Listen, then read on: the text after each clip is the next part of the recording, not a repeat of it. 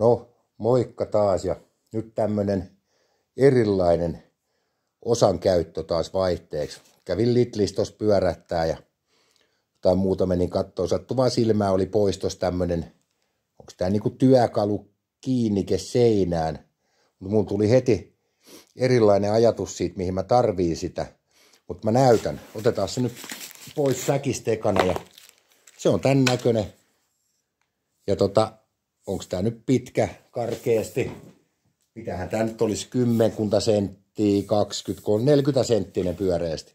Niin mä teen tästä lastun kerääjä. Mulla on tossa pelti.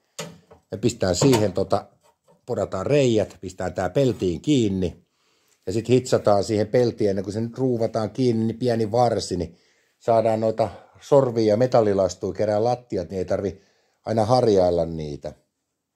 Ja tietysti homma lähtee aina käyntiin ensimmäisenä merkkaamalla, niin me nyt tää ei ole niin tarkkaa hommaa, niin vedetään tussilla vaan merkit tänne, mistä porataan ja katkaisukohta tohon ja siinä nähdään nyt sen verran, että ei tarvi ihan arpoa ja siitä aletaan porailemaan. Niin tää hommahan nyt ei sitten ole vaikeeta, kun otetaan terää ekana, millä vetästään alkureijat ja tota, saatana kun nämä välillä menee, uppoo tuo terä tonne, niin ei syö sitä ruuvia, mikä tuo karan pohjassa on paskaksi, mutta ei mitään.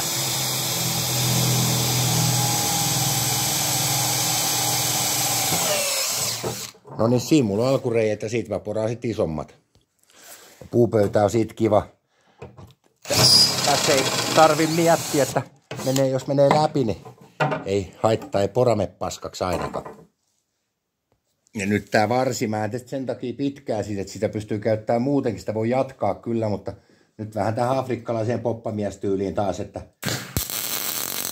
ei maskia, ei hanskoja. Mutta tämä on nyt testi, että en mä rupea tätä ympäri hitsaamaan, että katon vaan sen verran, että se on kiinni siinä, että ei nyt ensimmäisen kosketuksen jälkeen irtoa. Noin. Sen verran se on nöpätty siihen, että saadaan tota, testaa sitä ja siitä se jatkuu nyt ja nyt pultataan kiinni.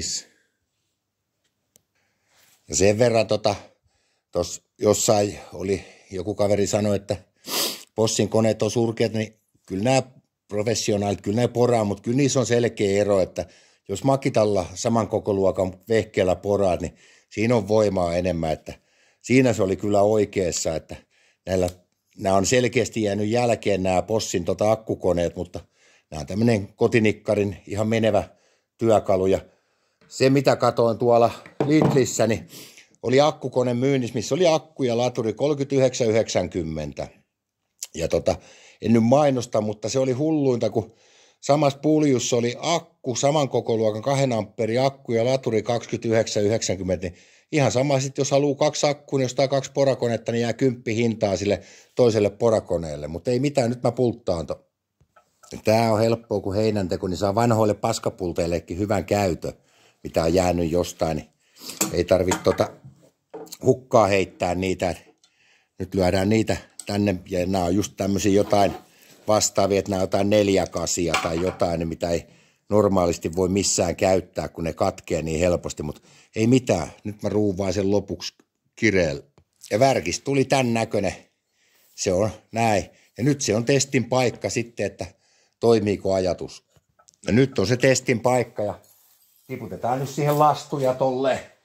Ihan miten nyt sattuiska. Pieni hetki, kun mä saan näkyviinkin ne vielä. Siellä nyt se on nippulastuja ja nyt otetaan toi veikotin ja aletaan testaamaan, että onnistuuko ajatus. Et siinä sitten on kaiken näköistä vetästää. Niin kattokaa nyt. Siinä meidän lastut, ei ne kerralla kaikki lähde, mutta kattokaa tätä sydämiä. Siinä on meillä lastun kerää ja nyt mä ämpäri, mä kokeilen irrottaa ne siitä, niin nähdään, että lähteekö ne järkevästi irti. No ja siitä nyt yritetään pyyhkästä hanskankaan ja siikata, että onnistuisiko tää. Joo, kattokaa. Kyllä se lähtee aika hyvin puhtaaksi. Jää nyt tietysti jotain kiinni tonne, mutta ei muuta kuin uudestaan kokeilemaan. Ei tämä nyt varmaan maailman paras on, mutta kyllä täällä lastut saa kerättyä pois lattiolta, että ei tarvitse tota haravoida kaikki, että ainakin auton jos ajaa tohon, niin ei ole kaikki renkaat täynnä lastuja ja renkaat paskana.